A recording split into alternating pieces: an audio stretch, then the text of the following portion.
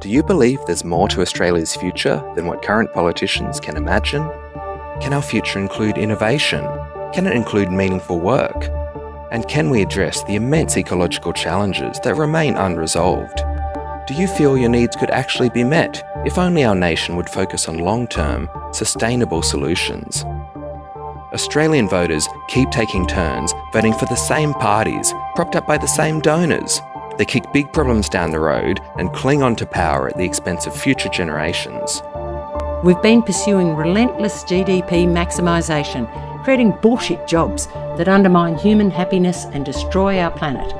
We don't need to stay dependent on an economy of digging things out of the ground and exploiting each other with real estate speculation. We could be digging into our minds, creating technology that serves our actual needs. High speed rail to connect our cities with affordable housing. Precision fermentation to grow enough food even in a hostile climate.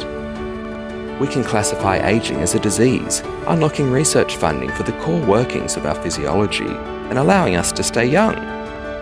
We can fund AI research that's aligned to benefit Australian society, not optimised for ad revenue, clickbait, and misinformation.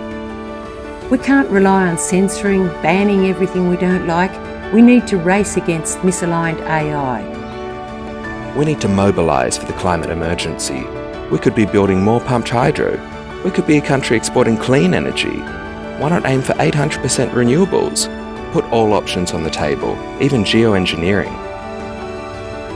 If you feel that Australia can be saved, and if you feel it's worth saving, Please join us in making real change for a flourishing, harmonious Australia.